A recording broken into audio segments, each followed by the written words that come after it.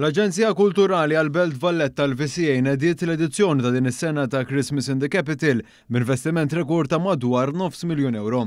Dawn l-attivitajiet li d-dħul għalihom hu kollu b'xejn se jżewqu l-esperjenza ta' dawk kollha li jżuru l-kapitali mill-25 ta' Novembru sal-aħħar tas-sena. F'konferenza tal-aħbarijiet fejn tnieda l-programm tal-attivitajiet ġie spjegat kif dawn se jkunu qed jolqtu l-gusti ta' kulħadd. Fil-fatt minbarra għadd ta' kunċerti bis-sehem ta' numru konsiderevoli ta' artisti lokali, se jirritornaw ukoll tradizzjonijiet reliġjużi marbutin ma' dan iż-żmien ta' festi, bħall-purċissjoni bil-Bambin f'lejlet il-Milied. L-attivitajiet kollha se jittellgħu fl-isfond ta' aktar investiment fl-armar tal-Milied. Dan hekk kif għall-ewwel darba se tinxtegħel ukoll Triq in-Nofsinhar bħalma jinxtegħlu Triq ir-Repubblika u Triq il-Merkanti. Se jkun qed jintrama wkoll presepju artistiku biswit id-daħla tal-Kont Katidral ta' San Ġwann. Pjazza Tritone wkoll se tkun qed tilbes għall-Milied, b'siġra ta' 21 metru jew madwar seba' sulari, flimkien mal-palk fejn se jittellgħu l-prestazzjonijiet tal-artisti.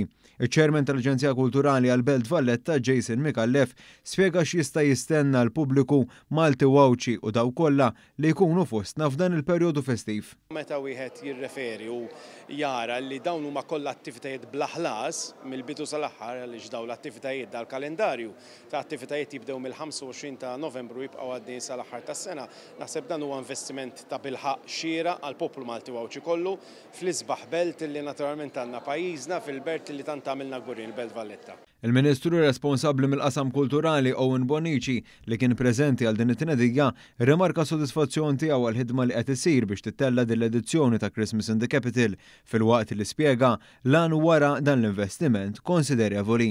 illi għandu l-għan li jkompli jinvesti u jagħti opportunità lin-nies, lill-familji Maltin u Għawdxin li joħolqu memorji mill-isbaħ flimkien fil-jiem tal-Milied. Fil-fehma tiegħi, Din hija xi ħaġa mill-isbaħ għaliex dawn l-avvenimenti, dawn it-tip ta' programmi kulturali ma kinux f'dan il-mod isiru fis-snin passati u qed naraw issa din il-ħidma kollha dejjem iżżid biex inkomplu bis-saħħa tal-kultura noħolqu memorji sbieħ Kull min hu interessat hu mħeġġeġ jikseb aktar informazzjoni minn fuq is-sit vca.org.mt u l-paġna ta' Facebook tal-Aġenzija Kulturali għall-Belt Valletta.